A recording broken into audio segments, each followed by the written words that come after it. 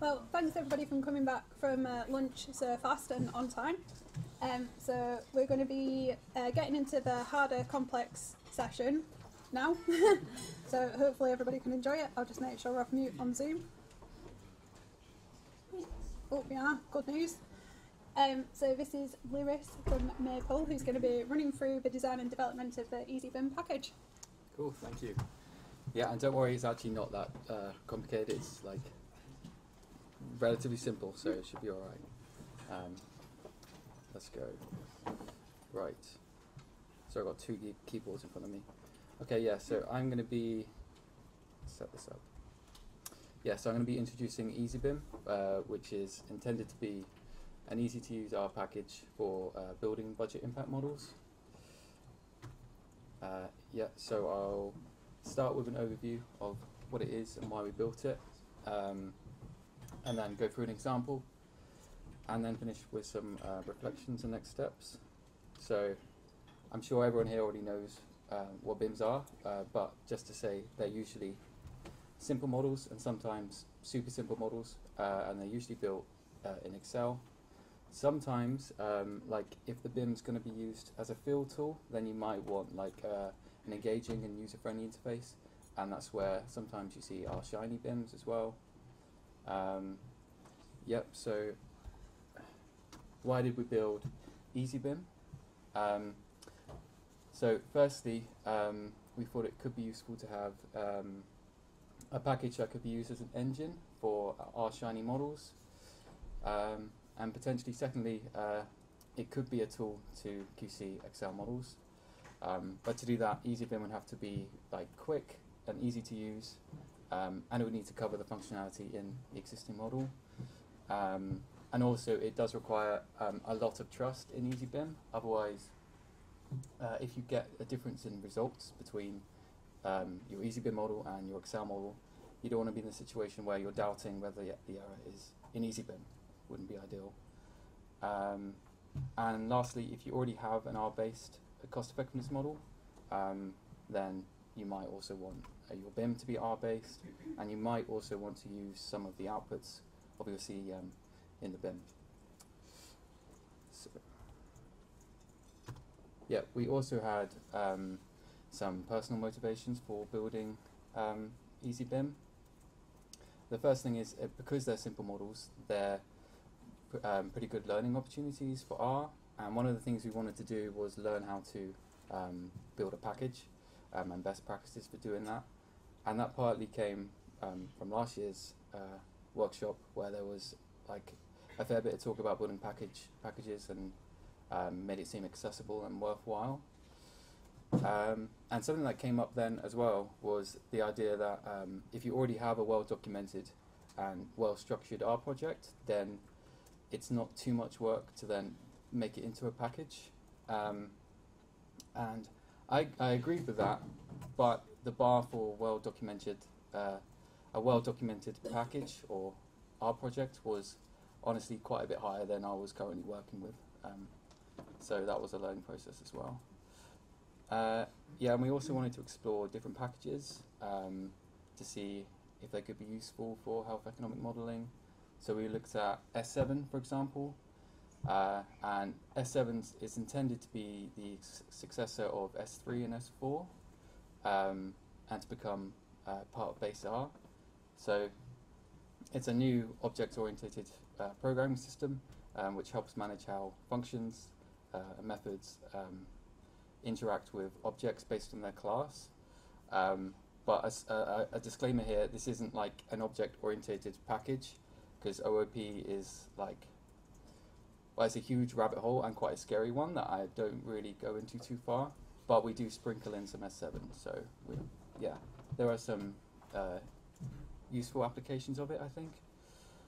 Um, and then finally, uh, CLI, which is a package to help um, improve the print output, um, which we use to improve the print output of the classes in our package. So the first step was to conceptualize EasyBIM, um, and to do that we looked at um, several existing models. They were all Excel models. Um, and initially, uh, we focused on developing the functionality for like a simple BIM with some additional features. Um, and yeah, we haven't added all the features that we like to, but we're kind of incrementally adding them. Um, the features kind of range from super basic or essential, like a patient funnel, uh, to something that you don't always see, like um, estimating the optimal uh, vial size. Um, yeah, but in, in the next example, I'll kind of go through some of the uh, more simpler features of EasyBIM.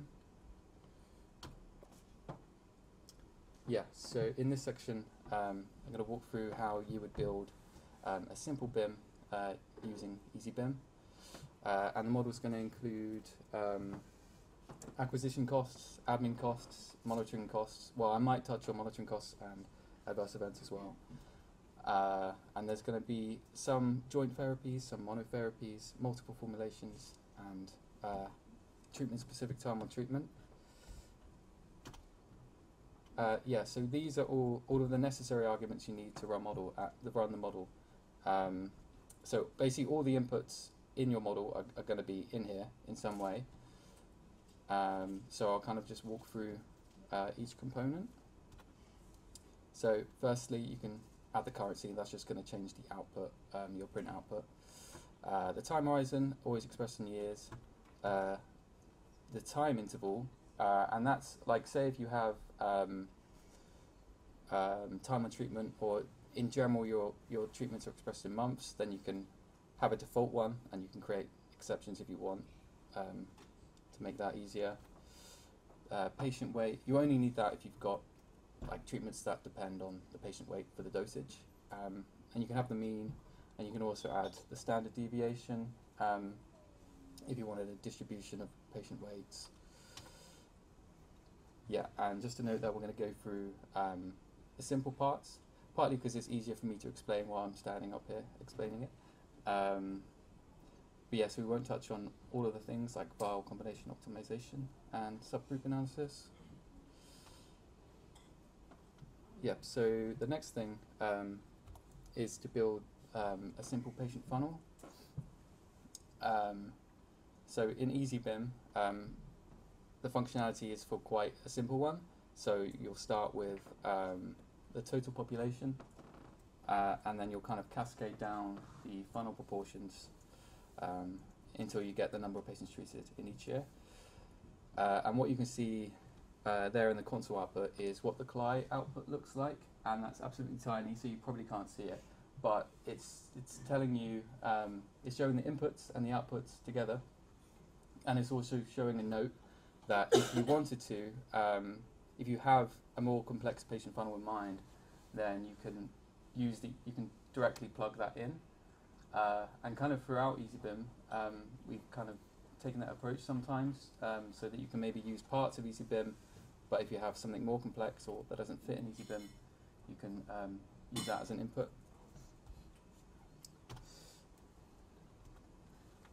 Uh, the next bit will just be to create market share inputs, uh, and that's uh, fairly standard. So you have three treatments included in, in the model uh, in this example. Um, yeah, so each element of the vector is for a different treatment. You have the world with and the world without the new intervention.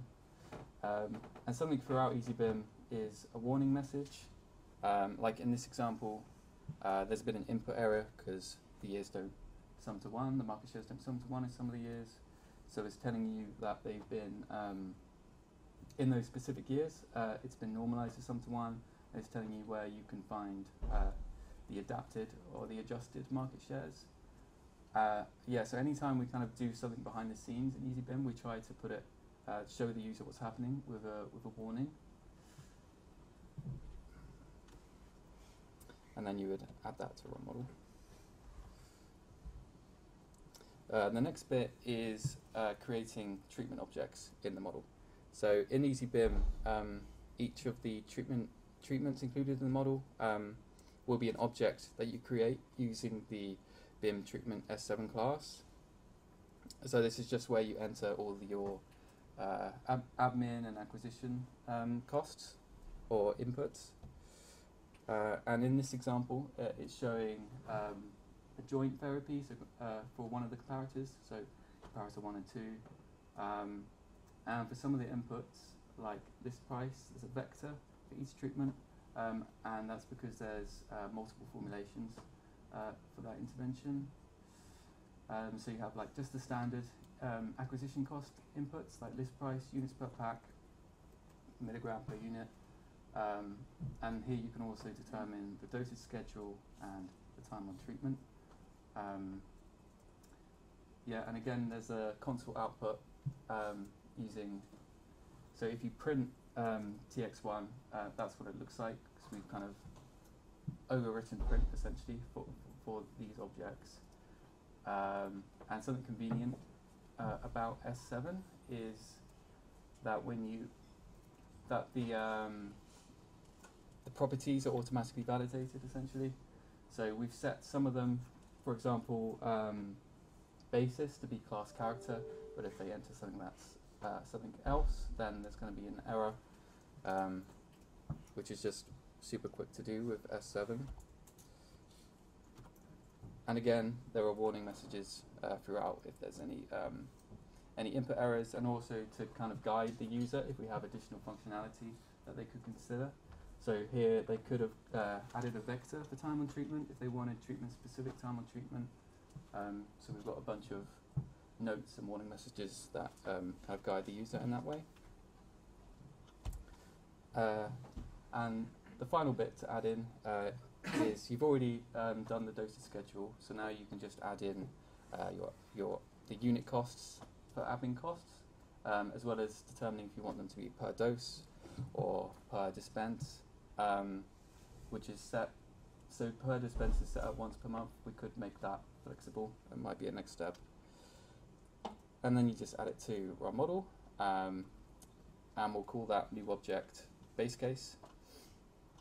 And if you print the base case, um, then you can see uh, a mix of a summary of inputs, um, some of the outputs, well, the key results, and some plots. So these are um, a summary of the inputs, and at the top there'll be an accumulation of um, any of the warnings throughout the model. Uh, and then for the results, um, kind of um, so, so you've got the budget impact results and the cost per patient and so on, um, and a note to say where you can find more detailed results if you want to, and then a few pl- plots like market share and budget impact over time. Yeah, so um, we think EasyBIM doesn't yet make uh, full use of the potential benefits of S7. Uh, partly that's because OOP in general seems like a huge rabbit hole, and there's bound to be interesting ways you can apply it. Um, but also, in terms of that property validation, um, it, for some of the cases we've set it so they can um, enter lists. But if, if you enter a list, then the user could then, within that list, add any kind of object, like a vector or a character, uh, and it's, it's not going to check that. Um, but from a developer's perspective, um, I found the process of defining classes and methods uh, quite, uh, quite, quite quick and quite easy to get my head around. Um, but then S7 is still experimental, um, and it's not part of base R, so there might be big changes in, in the future. And there's also not that much documentation um, because it's so new. There's just that, not that not that many examples out there. Um, and then in terms of from a from a user perspective, I've already mentioned like the print methods and the type validation, but one other thing is the documentation. So S7 classes, or I think classes in general, will inherently provide information about their uh, structure and properties. So if you were to print BIM treatment, then you're going to see all the properties within it and the class that those properties should be. Um, so if you are adding a new treatment, it's kind of easier for the user to see um, what they can add and what kind of functionality uh, is in there.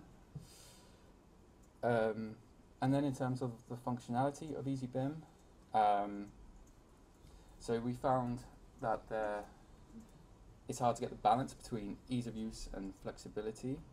Um, so to make it easy to use, we basically try to simplify the user interaction as much as possible. Um, so essentially, the user inputs um, provides the inputs and the settings, and then EasyBIM takes care of the rest, which has some problems. Um, one, you kind of, um, I mean, it can be convenient, um, and it could be appealing for those um, who are new to R. But then the predefined predefined functions, you're kind of left with the assumptions built into the package, and potentially a bit of a, a black box scenario where they don't really know what's going on. It will be open source, so they can see the code, but that's a concern as well. Um, but then to kind of alleviate some some of the um, the problems with the built-in assumptions, we've tried to add in flexibility where we can, um, like uh, using additional arguments into run model. Um, like you can, for example, you can set vial sharing for one treatment and not for others and things like that. Um, but as we keep adding in these options, uh, it becomes uh, more complex and the user needs to take more time to read the documentation.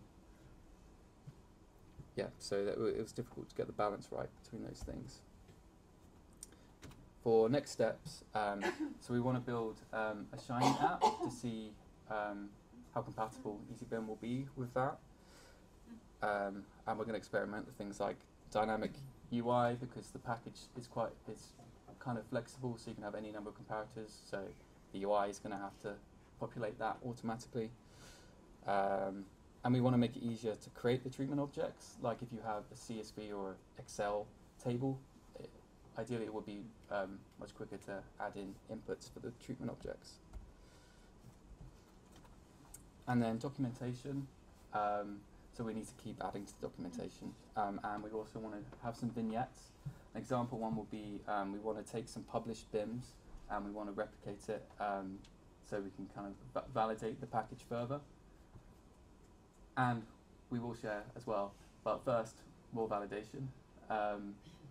We also want to look at um, Assert HE's function network because we want to look at how the functions connect um, and how the test coverage is, which will reveal that we haven't done any testing yet. So that will also be an important next step. Um, yeah, and as I mentioned, we, we have previously replicated um, like Excel models, um, but we plan to do more of that, and we want to also do um, published models to, to replicate those. Uh, yeah, so I think I'll leave it there. Thank you.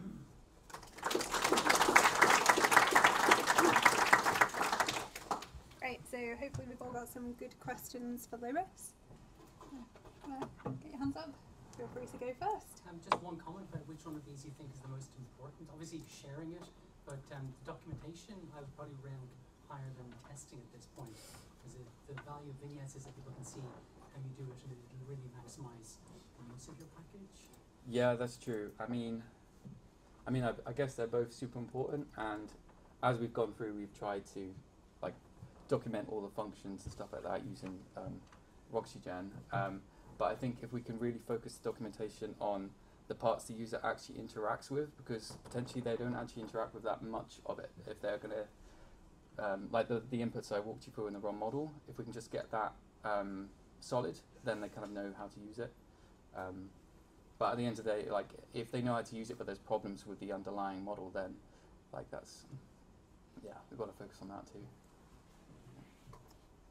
Cool. About flexibility and complexity, do you expose the structure that you use to the external world? For instance, when you print the base results, can an external programmer also look at the uh, base results and, for instance, change the result for a specific country, for instance, when they ask different lines of treatment for Belgium, for instance?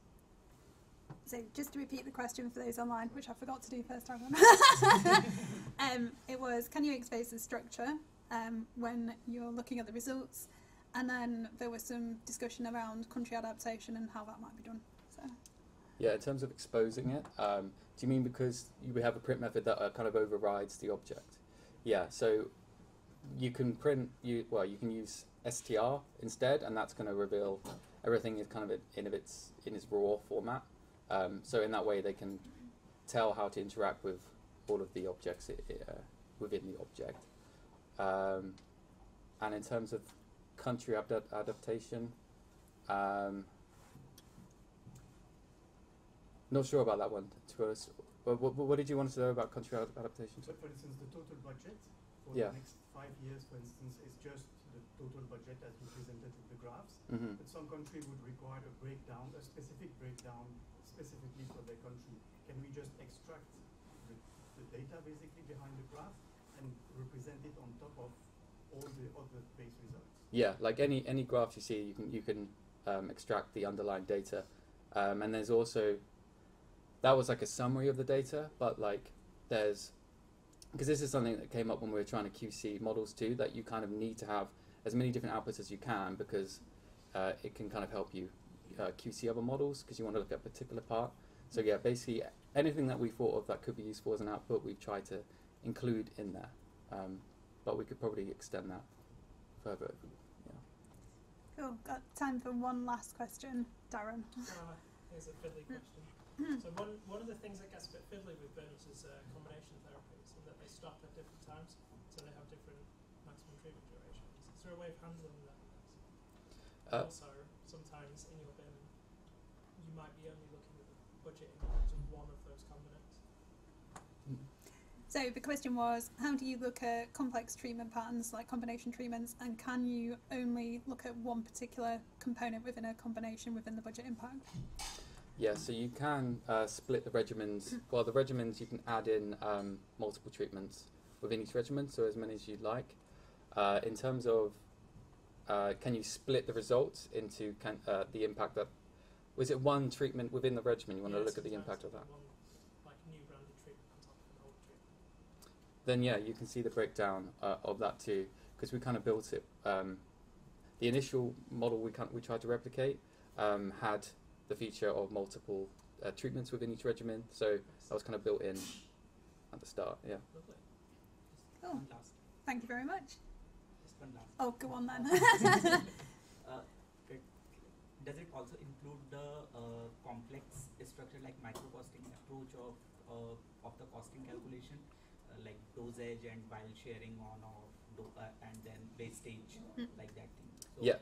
Yeah, exactly. It includes um, a wastage setting, and there's a, there's a part of the package where, because we, we saw in some Excel models, um, you'll calculate that the, the, the optimal uh, combination of vials, um, but the, the ones I've seen in that tend to be, some of them are hard coded. There are VBA codes uh, for it, but it can be really slow. Yeah. But for this, it's because it's R. Uh, I mean, it's really quick. So that is one advantage of this, I think. Yeah. Wonderful. Thank you very much. Thank you.